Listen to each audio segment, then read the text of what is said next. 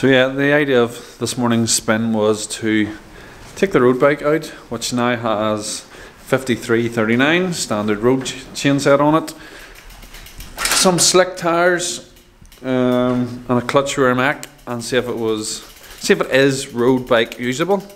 Usually this question gets asked the other way around: Can you use a road bike for cyclocross? And the simple answer is no, because the frame clearance but now with the disc brakes been introduced to the Irish peloton because the pros came over for the champs during the summer and there was a whole hoo-ha.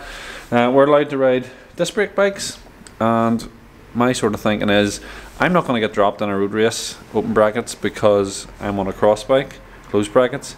Uh, there'll be several other reasons for that, but just thought I'd get this up and running, take it out for a spin and go from there. But this morning was uh, a no, so back to the knobblies for the cyclocross bike in the meantime.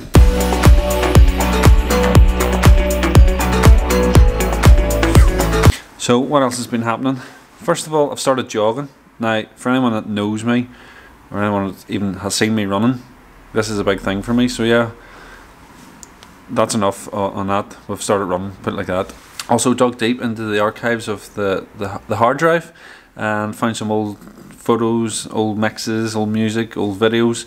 So I'm going to upload them over the next few weeks. The only thing is, I bought a NAS drive, which is a sort of server that you can ac access your, your footage and, and files anywhere uh, through a computer. But it went Python, all, this, all the files are stuck on a hard drive. Had to go to Bangor to get something. Also, on other news, I dug deep into the hard drives, found a lot of old photos, footage, music, started finding them on the channel as well. The only thing is, I bought a NAS drive, which is like a hard drive that I can access from any computer through the internet. Uh, the only thing is, it crapped itself, and then I had to go to Bangor to buy another thing for it, and yeah, everything is stuck on this one drive. Uh, in the process of backing it up, everything's been Python.